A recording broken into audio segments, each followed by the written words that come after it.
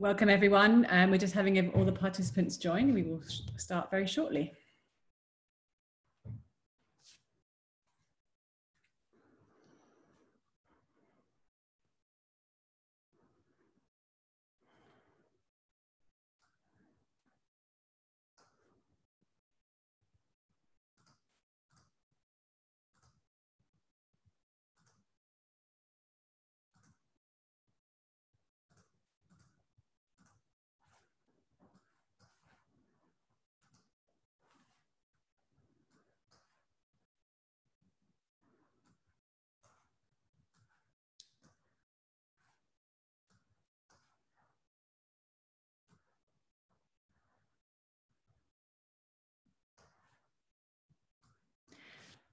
Hello, welcome everybody. Thank you for joining for Open Democracy's weekly live panel discussion. Um, I'm Mary Fitzgerald. I'm the editor-in-chief of Open Democracy. Um, we are a global media outlet that seeks to challenge power and inspire change. Um, we have an absolutely fantastic panel today. Um, uh, and the reason we've convened it is because as journalists, it's our job to investigate all the bad stuff that's going on in the world. Right now, Open Democracy is reporting on all the um, terrible things that are happening abuse of power and, and tragedy and loss of agency and obviously the health pandemic um, that's been consuming us um, in 2020 but we 2020 but we also think it's our job to help people think about what could be done differently or better. We think that is a core part of what journalism is there to do when we serve people. Um, and we think it's our job to celebrate good ideas about how things could be different. And so that's why we've teamed up with University College London to launch a competition for students aged 14 and over. And we're asking them to tell us their ideas about what the world should be like post COVID and how we get there. Um, so we're looking for a mix of imagination, creativity, but also um, concrete ideas or plans um, that maybe haven't been thought of before. And all my panelists today have kindly agreed to judge this competition. There have been some absolutely fantastic entries so far. I'd really encourage you, whether you are a student, whether you're eligible or not, to go and check them out because they are so inspiring. Um, and obviously to enter if, if you've got a good idea and, and, and you qualify. Um, but um, have a look at opendemocracy.net forward slash world after COVID, if you just want five minutes of inspiration or if you're thinking that you have an idea that you want to share. Um, today, the panelists are, are, going to dig a little bit into their visions of the world post COVID um, and also explore the kinds of approaches that they'll be looking for as judges. So that's what we're going to be uh, talking about. Um, there's some housekeeping. We want this conversation to involve all of you, and thank you so much to everyone who submitted questions ahead of time. We'll try and get to as many of those as we can. If you're joining us on Zoom, you have a question or comment, you can um, click um, either in the Q&A box or the chat icon at the bottom of your screen. If you're joining on Facebook, you can add your input and it'll be fed back. Um, uh, the, the, normal disclaimer, which is that these discussions happen in lockdown or semi-lockdown, um, so there may be unscheduled interruptions from pets um, or small children or, um, or other things. Um, and uh, please bear with us if any of those things happen. This is, this is the, the world and we live in and the life that we lead now. It gives me great pleasure to introduce today's panel. Um, we have Adam Habib, who's Professor of Political Science and Vice Chancellor and Principal at the University of, of Wit, as you put it, um, and incoming Director of the SOAS University at, at Lon uh, in London. Um, and we have Hannah Marcus, who's Assistant Professor in the Department of History of, of Science at Harvard University. Um, and we have Adam Wagner, who's um, a barrister at Doughty Street Chambers, which I know to be an awesome human rights um, firm, amongst other things. And he's a visiting professor at Goldsmiths University and specialist advisor to the Joint Committee on Human Rights Inquiry into COVID-19. Um, and we have Lia Bote, who is um, biological sciences student at U University College London now, and she's the project leader of the London COVID-19 Care Central. So we couldn't have a better lineup for the discussion today. Um, thank you all so much for joining. And uh, perhaps predictably, Hannah, I'm going to start with you because you're the history expert here. Um, you're an expert on early modern Europe and your first book was called Forbidden Knowledge, Medicine, Science and Censorship in Early Modern Italy. so um, I'd love to hear just quickly, why was medicine and science forbidden and uh, forbidden knowledge back then? Uh, tell us some of the most extraordinary things that came out in, in that book that people used to believe, or the ways that they um, used to get around the restrictions. Um, and of course, I'm, I would invite you to draw parallels with today. Yeah, absolutely. Thank you so much. It's a pleasure to be here, and thank you to all of you who are tuning in. Um, I I really, in my more optimistic moments, I hope that this uh, pandemic can be like a catalyst for change in our communities and our society. So uh, I, am looking forward to seeing what all of your ideas are. Um, from the perspective of the past, from a past, I, am an expert in early modern Europe and, and especially in Italy.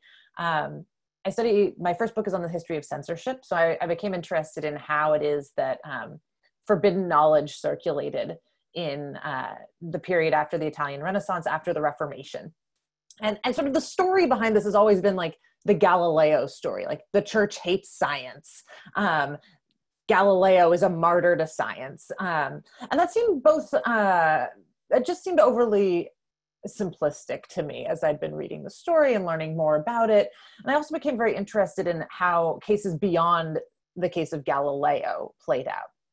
And so I, I went into the archives, the archives of the Roman Inquisition, uh, now called the Congregation for the Doctrine of the Faith. If any of you like can imagine St. Peter's, right, that big round colonnade, um, it's on the, the left-hand side, the entrance to the archive. Um, so I was going in there and I was reading about censorship cases and uh, and medicine came up over and over again as this case where all of these medical books are prohibited uh, in the 16th and 17th centuries because their authors are Protestant. So because of the people who are speaking, uh, I I argue that it's not about the ideas in the books yet. It's just about the who's who is speaking. Um, and basically, this sets off a huge furor that people physicians in Italy are like, we can't medicate without Fuchs. We need Gessner. These guys that you prohibited, they have nothing to do with religion. They have everything to do with medicine, and we have to be able to read them in order to take care of the people here. Um, so that started out my interest, and I followed it through all sorts of different archives, looking at people and how they um, participate in the system of censorship uh, that gets set up by the Catholic Church, how they work against it, also how books get like physically altered, names crossed out, pages torn up um, and how these ideas about uh, forbidden knowledge and permissible knowledge are sort of have a lot more gray area than uh, than the traditional story of Galileo leads us to think. So then I'm going to lead, if I can, Mary, I'm going to go into COVID here for a second. Yeah. Um, so I was designing a class last winter, um, last fall and winter uh, for my the first year students at Harvard. Um, and uh, and it's on science and censorship in like a long context so from the middle ages to the present and i was watching the news every day and i was like whoa there's some real science and censorship going on with this case of the the new coronavirus right? We are seeing over and over again the um, the conversations about how knowledge about this new virus was getting coming up against the the great firewall right? The chinese censorship apparatus. Um, and I was like, well, wouldn't this make an interesting case study for my class? This was December, right? December and early January, where it seemed like it could be a somewhat abstract case study from the world that we live in. Um, and and so I'd been thinking a lot about the ways in which like public health and and censorship intersect. I've been reading a lot in in the early modern historical record about how it's really common for cities, for states to hide outbreaks in early stages. I don't know if that made me feel comforted about what's happened here but i just I, I, I felt some real resonance to things that have happened in the past outbreaks of plague that people um, were unwilling to admit to because they didn't want to ruin the economy. Um, that like while every sort of historical moment is is unique in its ways. There are ways that um, that we can see real resonances between past and present and i think that that's um, the covid pandemic is really bringing that out yeah, so I mean, I, I think there, I, what I would pick up on, because obviously a lot of what we focus on is misinformation. Um, mm-hmm. So there's obviously there's a question of the fact that um, at, at, first the news of this virus was suppressed and that severity was suppressed, which is something that has happened in outbreaks, you know, immemorial. Um, but also there's an interesting dimension around this, which is now um, fascinating to me because there's misinformation being spread about the virus. And um, I think it plays a lot on um, mistrust of authority, which is actually grounded in some pretty reasonable assumptions given track record, right? Um, so I, I guess the question for you is what lessons have we failed to learn from history and, and how could the lessons that from history that, that you know of um, be applied better as we move forward from this crisis? So thinking about the theme of the competition, looking ahead. Yeah, I think everybody, the, the, the thing that I really worry about right now um, is that we are failing to see this pandemic as a, a long-term situation that we really desperately want it to be over. Um, and so our planning is often sort of short term solutions. And I think the reality is um, when plague hit the world in 1345, 6 in, in China, Mongolia, the 47, 48 in Europe. Um, so about 700 years ago.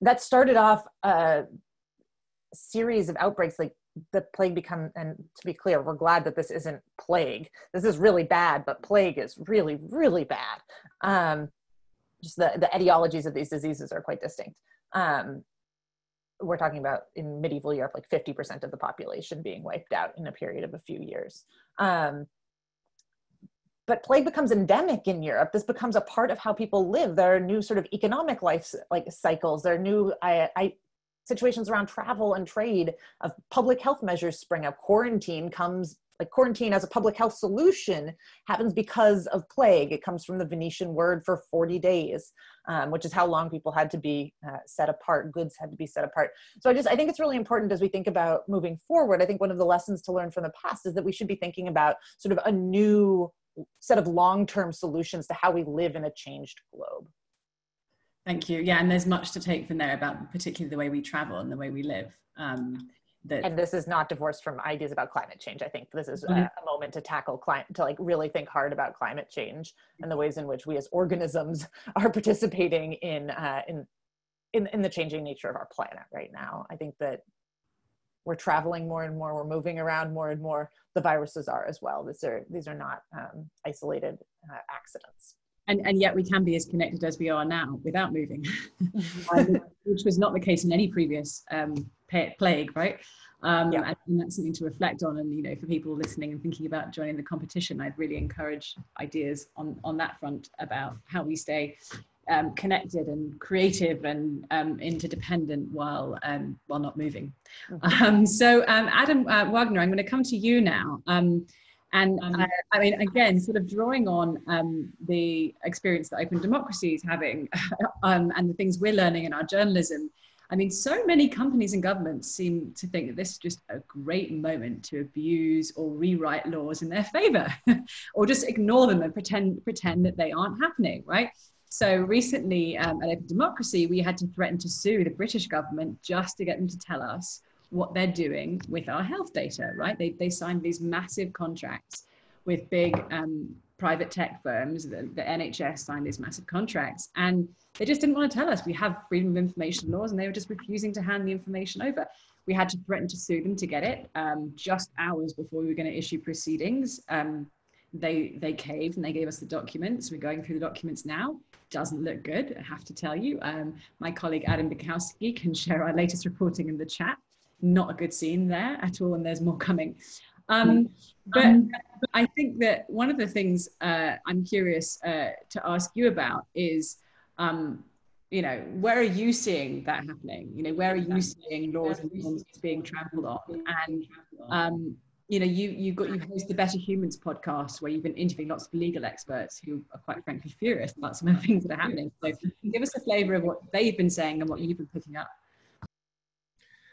Yeah, well, thanks so much for having me, um, Mary, and, and, Open Democracy. And I'm, I'm really um, looking forward to reading um, the entries to this competition, which, you know, for, for, a bit of hope, maybe in this kind of difficult time. Um, I, th I, think the, in, the answer to your question is this is, it, it, the way I see this entire sort of crisis, and it is an enormous crisis nationally, internationally, um, across almost the whole of society, you know, that so many parts of society are affected by this. The way I see it in, from the human rights perspective is this is a, a stress test.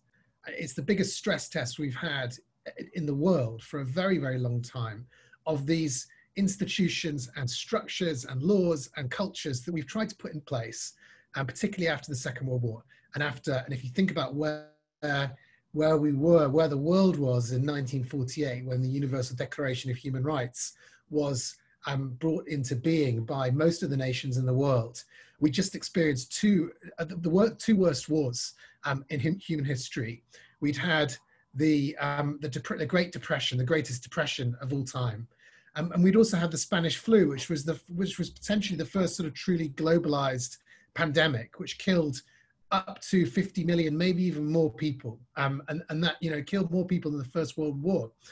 And if you, if you read the, the, the human rights instruments in that context, you can see um, that these are not sort of utopian visions for a world that didn't exist. They were an attempt to just boil down the essential needs of every human being um, to ensure that the the things that we'd seen happen during these enormous crises weren't repeated, whether you know at the most extreme end, the genocide that we'd seen, but also extreme um, aggressive war, um, sort of these these uncontrollable this uncontrollable pandemic, this um, destructive depression, you know, and and and the the the reason for these this moment of clarity, as, as I think of it, was the an attempt by the world to say there must be a way we can do things differently because we keep making the same mistakes. Every time we have enormous social upheaval, the same things happen. Um, unpopular minorities get abused, persecuted, murdered. Um, the the poorest people, the most vulnerable vulnerable people, are the ones that lose out immediately. We hunker down. We we attack each other um, because we we lose trust in each other. And and I think that vision um, is the vision that I, I see as the human rights vision. And then you then looking at this crisis you have a useful overlay to apply to this crisis to say well you know how is how are we doing with the rule of law? You know the, the right to a fair trial. Just take an example from the lockdown laws the right to know the criminal law that's being put in place so you can predict how your behavior is going to contravene it or not. Um, so I'm, I'm in the uk where we've had these this sort of strange spectacle of lockdown laws that apply to 65 million people being brought in by government dictates, um, you know, without parliamentary approval, without um, parliamentary debate. It's set much further in the future. And they're usually brought in on a kind of Sunday afternoon before Monday morning when they start to apply. Um, people have no idea how they're going to, whether their basic human social interactions are going to breach the, the, the, the, um, the criminal law. Then you have the, the issue, Mary, that, that, you mentioned, the, the rights privacy issues around these enormous um, projects to share our, our medical data, our health data. Um, and I'm, I'm not a sort of data skeptic in the sense that I, I believe that the state in some situations should be um, using mass data to assist in the sp- preventing the spread of a pandemic, a deadly disease. You know, human rights laws protect the right to life um, fundamentally, and they and they really, you know, if you think that the Spanish flu happened 25 years before all of these human rights instruments came into play, the World Health Organization mentions um, uh, uh, human rights in its charter. It's all interlinked. Um, so I, I, think there are appropriate ways to do that. But the problem here, I think the main problem has been the speed at which all of these um, changes to our rules and laws and um, ba the basic principles of good governance has has happened. And in that sense it really is a stress test for the checks and balances we've put into place. And i would want to see um, in the thinking of the you know some of the thinking going into these works that people will submit how can we strengthen those checks and balances um, ba based on learning from what we've seen during this pandemic? Thank you. Yeah i mean i i, I will I, I guess i'll move you on a little bit to that which is um, I mean, it's early days, right? But what are you seeing um, that you that you think does give you hope? That you know, what are the, some of the most innovative and kind of cool ways that um, people have been using the law to fight back, to challenge, to clarify, to improve, to strengthen our rule of law? Uh, there's a question um, which I think is not hopeful from one of our um, audience members, which is. Uh, will the UK learn from its mistakes with COVID 19 to communicate properly with other countries and not be exceptionalist? um, but you know, maybe you can deal with that as well as sort of what, what, you know what's what's giving you hope, or what do you think might be interesting that, that emerges from this that's different?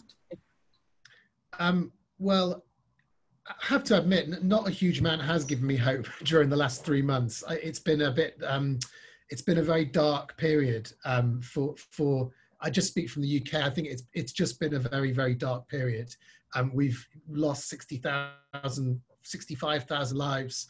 Um, I, I, I'll stay in my lane and not talk about the the government this the government response directly, but in terms of the the rule of law side, the human rights side. I mean, one slight ray of hope is I've seen the, the the people in the kind of human rights community, if I put it like, I'm not even sure I like that expression very much, but civil society um, in all the different areas, whether it's um, organizations specializing in stop and search or healthcare rights or elderly rights or um, disability rights, you know, they've, they've stood up and they've stepped up to this kind of torrent. It's almost an uncontrollable torrent of new laws, of new policies, of changes um, and, and also, and I make sort of a slightly, a, a point which may, um, may grate with some people.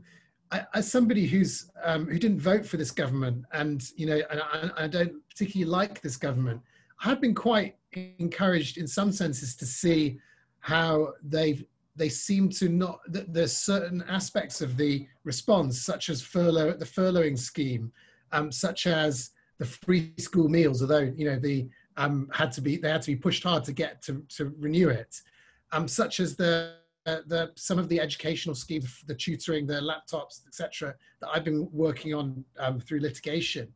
That, that this government, I don't think, has been rigidly ideological.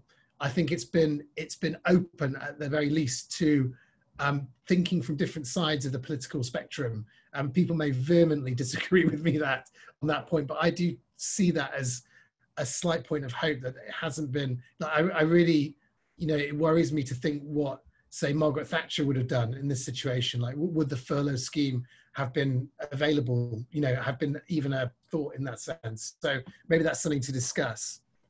Well, yeah, it's interesting. I mean, all bets are off, right? That, things that you never would expect from governments or from other actors have, have suddenly started to happen, and people have started thinking differently about idea, you know, big ideas to do with climate or universal basic income or whatever it might be. Um, I think that's certainly true, although it's, yeah, we can have a debate about what the merits of the UK um, policy, you know, which, which won't, won't, won't feel very global. Um, but actually, sorry, I can hear myself echoing a bit. Adam, you mute me or not talking? Adam W, thank you. Uh, I will. I'll pick some of that up, but I actually, um, you know, keeping with the hope thread um, and picking up some hope here and, and, making it more global again. Adam Habib, you're joining us from South Africa, where at your university they have just started trying the first coronavirus vaccines. So, can you tell us some more about that? I think we'd all like to hear about that. So perhaps uh, let me start. Well, firstly, let me thank you for, for, for inviting me to be part of this panel and for I'm looking forward to engaging some of the proposal and the ideas. I perhaps should start off with something that Hannah spoke about and that she raised the issue of that this pandemic, this virus is not going to be with us in the short term. It's here for a, for a while. That's what our medical scientists are telling us. This is going to be around for a couple of years. And what that suggests to us is that actually the development of a vaccine is going to be very, very important for sustainably addressing the COVID 19 crisis.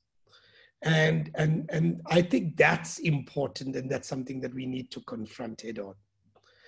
But what makes me particularly excited about this is that WITS is involved in this first trial on the African continent, but it's doing it in partnership with other institutions around the world. It's doing it in partnership with uh, colleagues in Oxford. It's doing it in partnership with colleagues in other parts of Europe and Brazil and in and in and in uh, and in the United States. And I think it's important to say that you know the, the, the challenges of our world are transnational in character. That's what this pandemic tells us. And if we're going to address the challenges of our world, we need to have great science and great technology and local context and understanding. It's bringing the two together that's going to allow us to address the challenges of our world. And what we're doing with this intervention is we taking a global challenge, the COVID-19 pandemic, and we're bringing institutions from around the world, from across national and institutional and continental boundaries, across the North-South divide, to create solutions for the globe. And that's what excites me about this. So yes, we're working towards the testing and the development of a vaccine. But what it is, is it's pioneering a practice that's saying if we truly see ourselves as a connected world, then we need to reimagine how we do good science, how we link global partnerships, how do we institutionally ground them, so that frankly we develop world-class uh, solutions that are contextually grounded uh, in our world. And that's what we're doing. This is why we're testing not only in the middle of Oxford, but we're testing in the US and in Brazil and in South Africa and in multiple other parts of the world, because we're pioneering a new practice. And so for me, that's it. The vaccine's exciting, but it's the pioneering practice that we, we're thinking through. And I think that's what we need to talk about far more no, thank you. That, that, that leads on long to my next question brilliantly, which is actually a question um, from the audience, absolutely about pioneering in, in universities.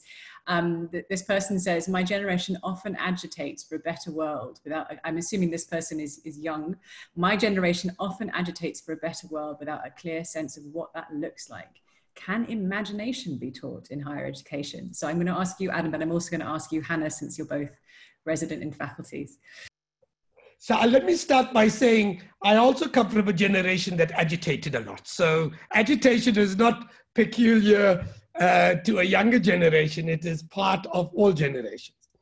But you know, I carry on engaging, and I have sometimes fairly robust uh, conversations with young activists. And I, my argument with them, in part, is fundamental transformation, fundamental change needs to be a thoughtful process. It can't simply be uh, agitation. It needs to be thinking, how do we transcend our, our world? How do we think through how we navigate power relations in our societies? How do we navigate? Because whether you like it or not, in every one of our societies, there are people who interested in change, and there will be people who are very powerful who are interested in the status quo. And you can rave at them and rant at them, but you've got to think through in a strategic way how to navigate that world. And it seems to me that imagination is absolutely essential in this. And the thing about imagination is yes, you can teach some of it in the classroom, but most of it you teach outside the classroom. You know, the great thing about universities is not what you only learn in the classroom. It's what you learn outside the classroom, what you learn from your peers, what you learn from a diverse local community that allows you to navigate a world beyond race and beyond class and beyond religion and beyond culture. And it's that ability to navigate. So for me, yes, imagination is central. It's fundamental to transforming your world. Yes, you can learn part of it through effectively the classroom like Hannah spoke about, learning best practice from other epochs. But what you also need to learn from it is to practice. It's through the practice of engaging with each other, learning from each other, interacting and navigating a cosmopolitan, power ridden world, and trying to say, how do I navigate this? But with an eye to social justice. And I think that's what the lesson is. Thank you so much. I mean, what you said just reminded me. I used to work at Avaaz, the um, global campaigning organization, and one of the things we were taught as um, campaigners, as a tactic, was to put yourself completely in the shoes of your target. You're trying to get a law changed. You're trying to get justice done. You have to think like the person who wants to stop it. Um, and you really have to understand and listen to their perspective, where they're coming from, what they're going to worry about, what their context is, because that's the only way you're ever going to be able to persuade the person, the organization, the movement, the legislature, whatever it is. You have to deeply put yourself in their shoes and understand what makes them tick, who they listen to, what their experiences are formed by and that's the only way you can be effective as an advocate so i think yeah that's an exercise in imagination as well and and it's something that takes some learning and practice but um but i very much enjoyed um, Hannah, I'm going to come to you next to ask, answer the same question, and then Lia, I really I've got tons of questions for you, including this one. So um, hold up, hold up. Thank you. I wanted to really second um, sort of Adam's perspective, Adam Habib's perspective on this. Um, I'd also add that something I've been reflecting on a lot as a historian is that I'm um, rereading books that I've read before about things that happened a long time ago, and I'm seeing them really differently in uh, in this moment from amid a pandemic, from amid major social upheaval about what I would call an epidemic of police violence against Black people in the United States.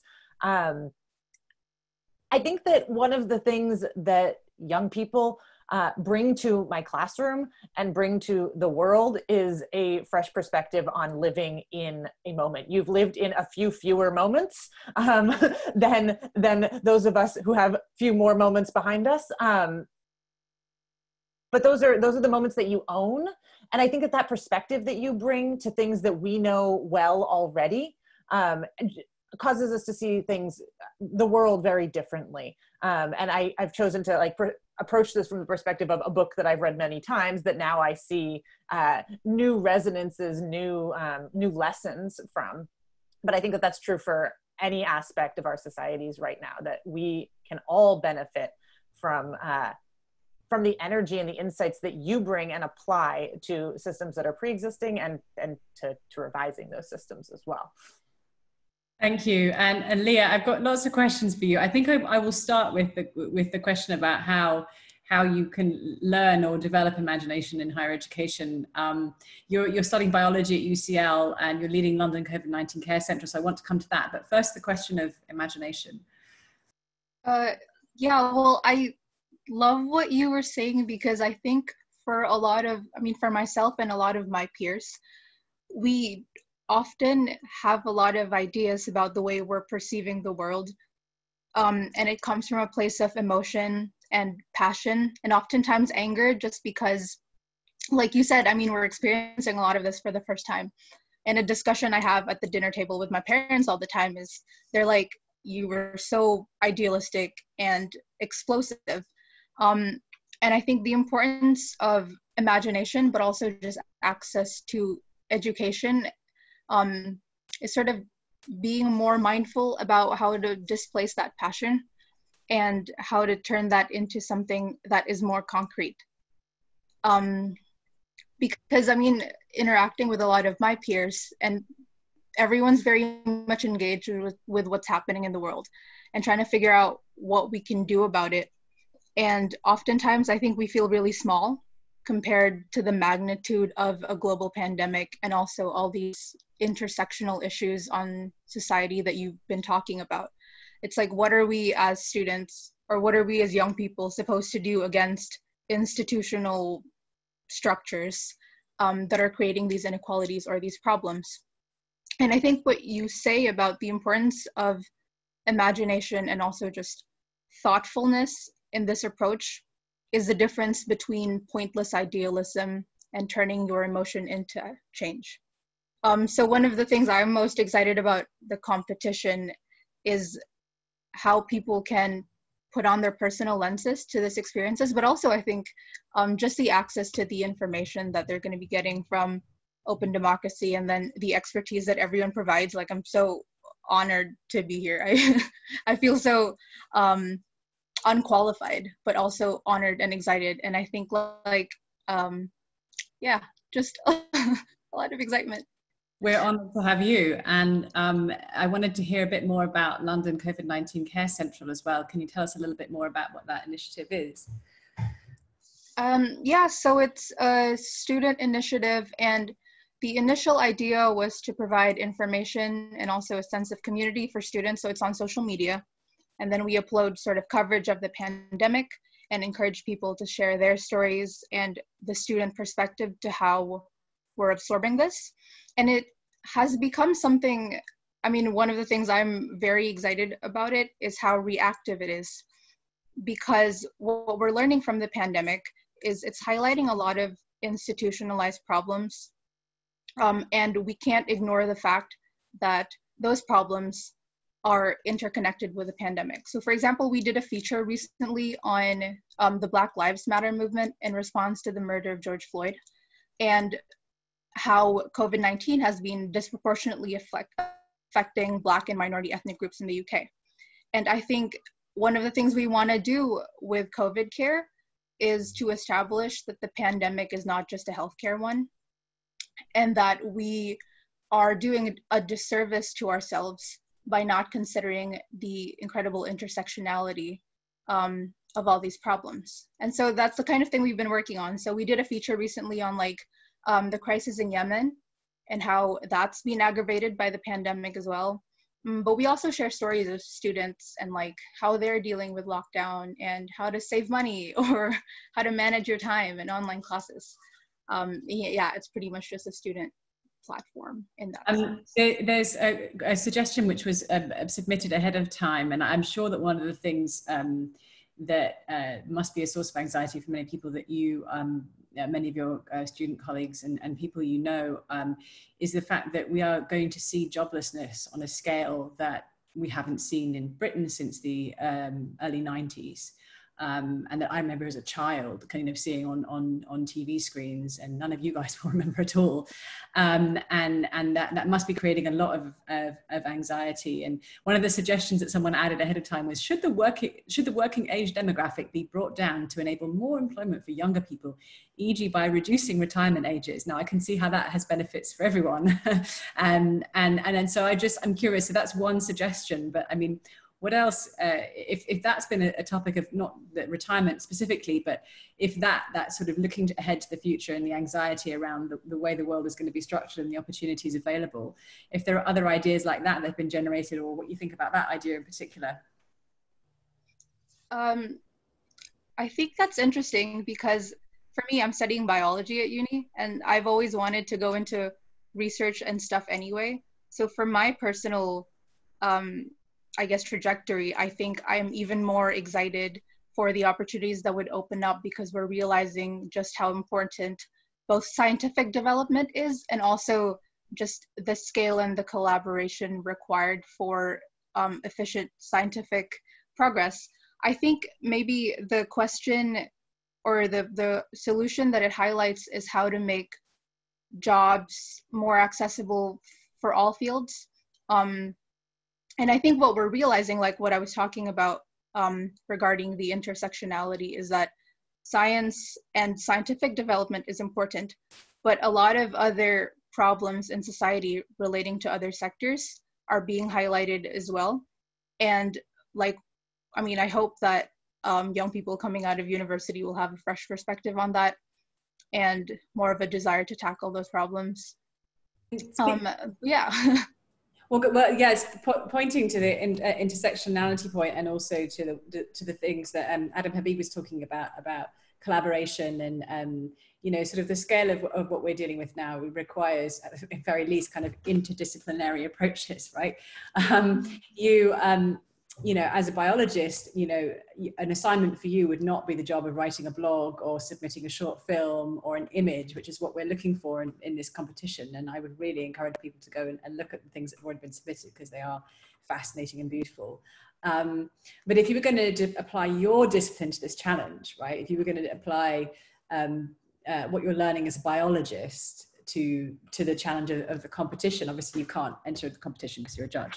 But um, but you know what type of thing would you be submitting and sort of how would uh, people in in your field um, communicate their ideas about in, in, this form for contributing a better world post covid um well i think one of the interesting things about how we're approaching uh, the treatment to um, the coronavirus is that not only are we working on developing new vaccines, but we're also exploring the use of existing antivirals and existing treatments and how those can be used for this as well.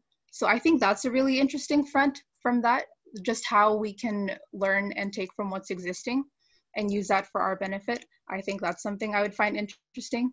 Um, but also, like, I'm interested not just in the science, and I think the perspective that I would bring and a lot of young people would bring would also involve their identity as students and as people sort of having to navigate what it now looks like to learn online or to be at home when you expected to be at university. And that poses an entirely different set of problems that are not even necessarily related to my field. So solutions on like online learning, for example, I think a lot of my peers and myself find it ineffective. Um, how can we learn from that? And if the world after COVID looks less interconnected, how can we make schools as effective as they were if we were doing them in person um, is also something I've been thinking about and would be excited to see people respond to. Um, thank you. Yes, as the parent of young children who has struggled with Google Classroom, I second that. freaked out by the idea of Google being my classroom and it doesn't work. so there's the sort of baseline doesn't function, and then there's the, the sort of scarier surveillance part of that. So I'm definitely interested in hearing more about that. Adam Wagner, I'm going to come back to you um, because we've heard less less from you than um, from others, and I wanted to ask you. Um, I mean, you're as a judge, what are you going to be looking for, and um, what, what would you really encourage people to be thinking about and challenging challenging themselves on um, from from your perspective?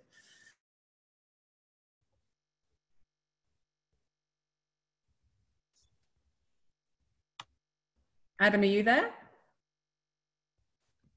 Ah. Sorry, yeah, no, I am. Okay. I got I, the other Adam. All right, sorry. Do you want me to ask the question again? Um, no, I, I, I, in terms of what, what I'm looking for um, as a judge, I, I, I think, I, I think we're in a period of history that we don't we don't really have the almost the language to understand yet. Um, I think things have happened so quickly and and to such a we've things have changed so quickly, and particularly in in I think this applies particularly to countries that haven't experienced recent um, epidemics. Um, I think, you know, I, I, speak from the UK. I, I think maybe things are, slightly different in parts of the world that, you know, had very have had different have had bad outbreaks of Ebola or SARS or, or MERS. Um, but overall, I think we we are in a different world, um, and the what I would be looking for is a, an articulation, first of all, of what that what that different world is. You know, what has changed? I think it's really hard to be in the in the situation. We're still in it, and we're still in the crisis to really get a grip on what we um, what's happening. And I think visionaries are people who can can step back um, from the current and see see it for what it is or what it will become. And I'd want to see a bit of sort of visionary thinking. And then I think once you describe the world as it's changed, it becomes much easier to extrapolate what can what could happen or what what should happen next. Um, and I find it very difficult. You know, I I cling on to the human rights framework, you know, because that's my it's almost like my comfort blanket to be able to describe you know oh well the, the schools have all shut down for months you know my, my i've got young children as well. In fact my daughter went back to school for the first time in three and a half months today and it is just a very strange thing that's happening. What does the right what does that mean for the right to education? The right to education which has only ever in in human rights law been really about um, giving people education without discrimination because it's always been there's always been the availability of schools at the very least um, and this idea there isn't the availability of physical schools. Um, and this online education which there which is meant to be a replacement is no replacement. Or very it's a it's an insipid kind of replacement. How what does that mean? Like how can we think what does that right to education mean now um, in the context of a world where it may not be possible for the next year or two or even longer to guarantee physical locational education? Um, just as an example. So what what does it what does that mean? And and, and how can it how can we um, find a way through it um, and learn from it? So I'm, I'm really looking for people who have that sort of extra visionary approach to the what was happening at the moment. Help me understand it um, would be you know on a basic level. Thank you. Yeah that's that's that's very rich uh, food for thought for any um, aspiring entrants. Um, I think that's very, very helpful. Um, another comment from the audience, which is um, these panelists have really optimistic expectations of the future. The economic crisis that is expected to start a few months later might be really huge, unemployment, transformation, probably digitalization, um, you know so uh, are we being too lofty in, in, in the way we think about things? And and then there's also a very uh, related question which is how will the world of work change? So adam made a very good point about education um, and how should it change? So i'm going to put that to any panelist who wants to put their hand up really to, to respond um, to those uh, related questions. Yes adam habib you were first off the block. So i wanted to say uh, two things. One is you know, I'm, I'm not that optimistic. I think that we are in a seriously dangerous moment in history. I think that uh, our world is deeply unequal. And as a result, it is incredibly socially and politically polarized. And the real danger with that is that so long as we socially and politically polarized, we can't rise to address the global challenges. That's the foundation on which you can create a cohesive global community to address the challenges.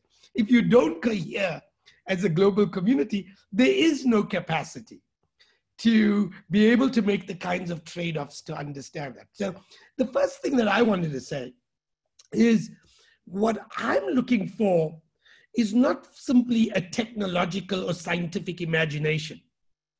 I'm looking for a technological and scientific imagination that allows us to address that very deep inequality. So you could find technological solutions post COVID 19 on online that can deepen the economic divides. You can say to poor people, okay, we'll give you online education and we'll give you rich people, you go to Harvard and Oxford and get trained there in a face to face interaction. That deepens the economic divide and it will deepen the social and political. So what we've got to think of is a technical, a, a technological and scientific imagination that is socially grounded, that is grounded in healing our world. And I think that that's something that I would love to look at and I'd love to, to think through. I also think it's going to have to deal with the issue of work. So why do we, for instance, in the UK, you have a 35 hour week or a 37 and a half hour week. In South Africa, we have a 40 hour week.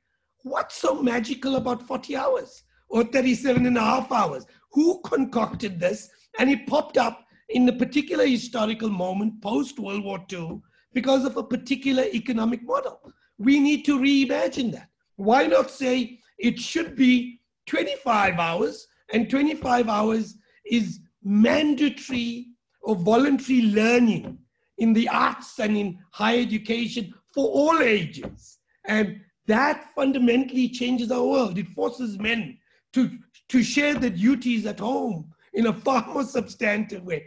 If we need to reimagine post COVID 19, not in a scientific and technological sense, but in one that is also grounded in a more socially constructed, more inclusive world.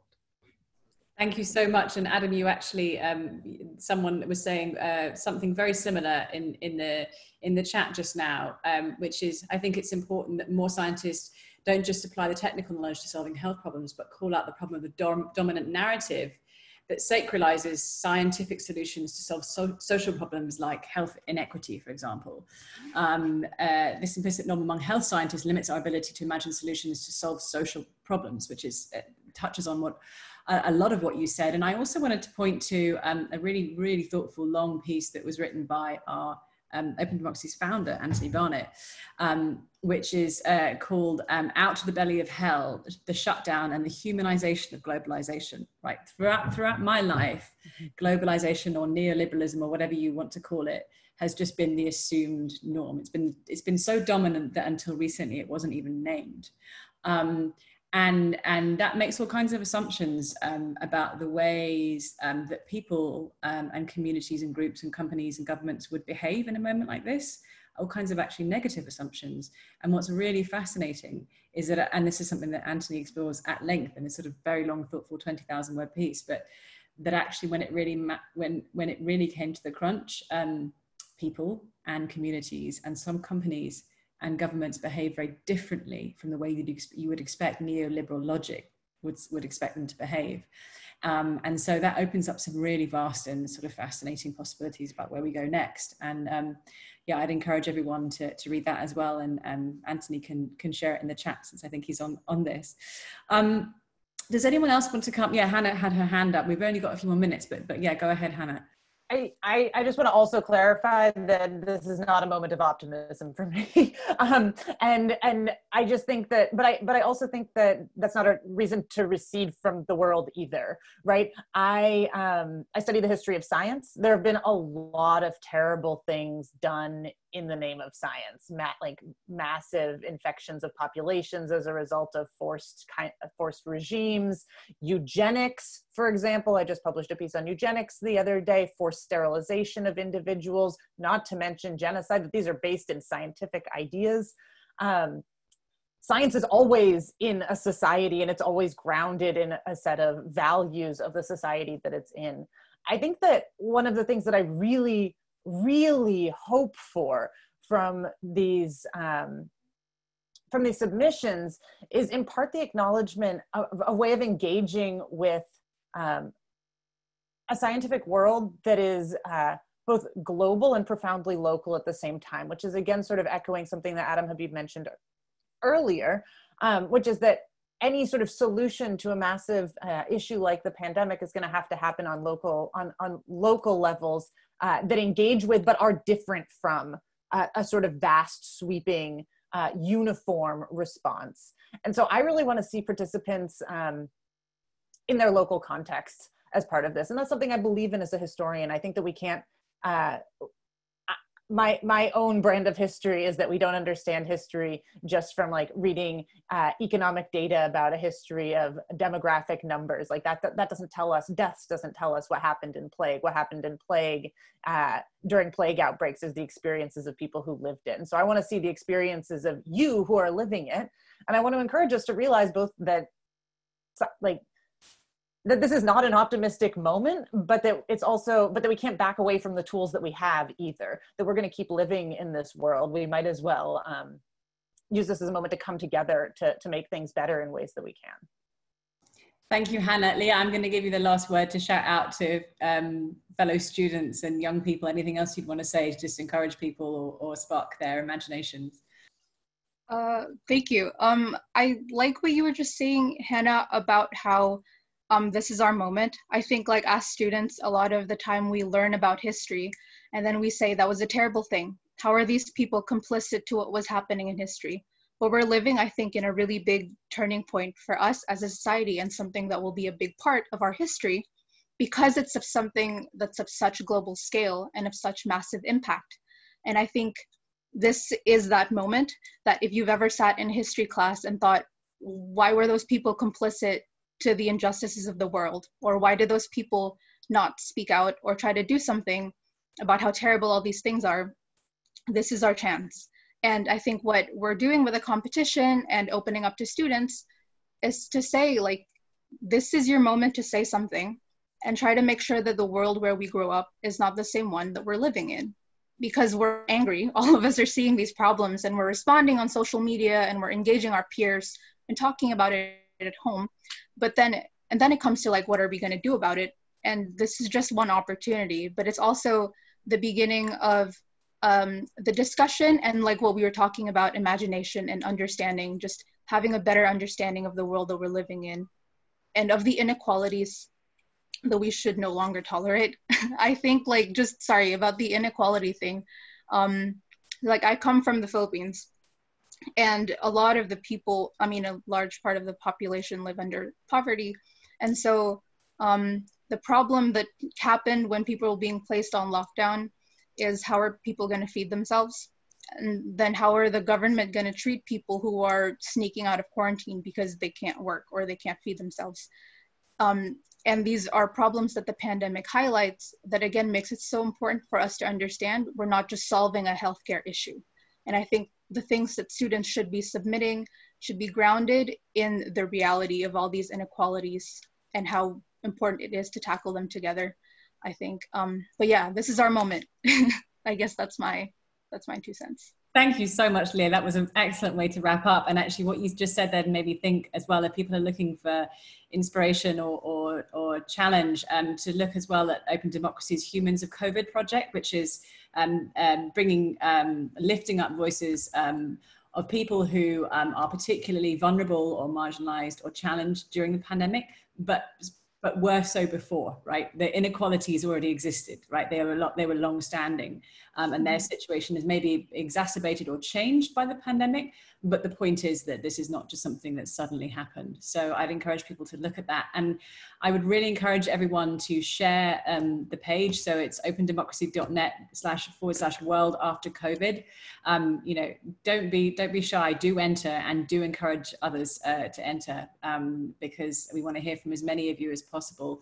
I want to say thank you so much to all the panelists today. This has been a fantastic discussion and I think hopefully very inspiring for people who are listening in and who are thinking um, about these questions um, that are thrown up by uh, by this competition and and and by um, the problems it's it's trying to begin to to tackle. Um, uh, yeah, uh, obviously, if you're not signed up to our newsletter already, um, sign up opendemocracy.net forward slash newsletter. Um, you can hear more about the competition and about all the work we're doing. If you thought this was a good panel and you think public interest journalism should be supported, you can do that at support.opendemocracy.net forward slash donate.